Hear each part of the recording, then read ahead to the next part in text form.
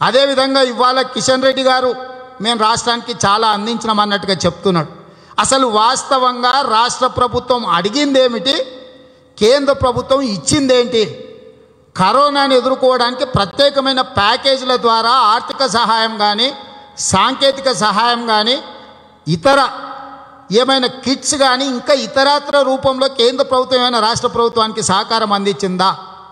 మీరు అడిగినవేంటివి వాళ్ళు ఇచ్చినవేంటివి? ఇవ్వకుండా మిగిలిపోయినవేంటివి వాస్తవంగా మన రాష్ట్రానికి రావాల్సిన నిధులెన్ని విడుదల అయినవన్నీ ఒకవేళ విడుదల కాకపోతే మీరు ఎందుకు వాటిని రాబట్టడానికి ప్రయత్నం చేస్తలేరు అని చెప్పి ఈరోజు నేను అడుగుతున్న కేసీఆర్ గారిని కేటీఆర్ గారిని.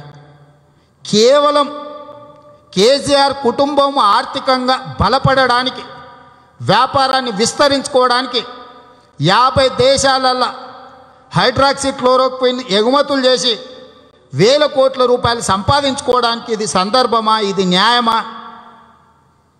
ప్రభుత్వంలో ఉన్న పెద్దలు ప్రజలని కాపాడాల్సింది వదిలేసి బంధుగణం ఆస్తులను పెంచడానికి ఇంత బరితెగింపు పాల్పడితే ప్రశ్నించాల్సిన బాధ్యత ప్రతిపక్షంగా మా మీద లేదా?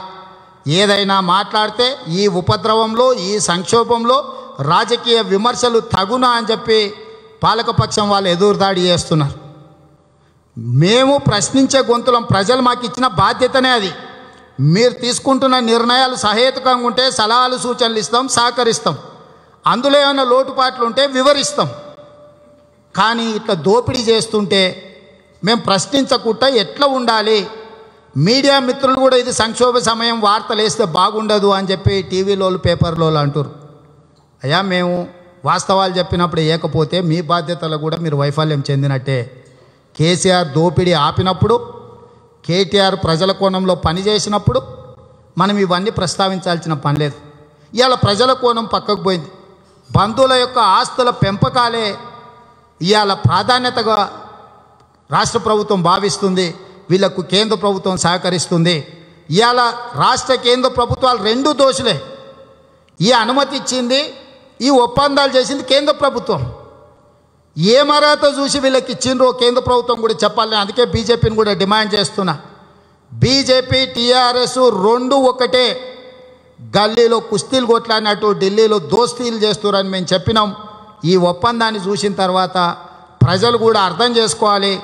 ఈ రాష్ట్ర నాయకత్వంలో అక్కడక్కడ ఏదైనా ప్రజల సమస్యల మీద ఏదో పోరాడుతున్నట్టు లేదన్న ప్రయత్నం చేస్తున్నా.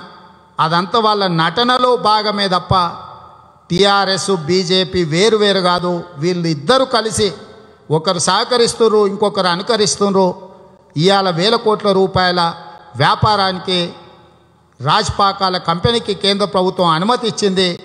ఇలాంటి పరిస్థితులు రాష్ట్రంలో ఉన్నాయి. వీటిని బట్టి మీరు అర్థం చేసుకోవాల్సిందిగా నేను విజ్ఞప్తి చేస్తున్నా.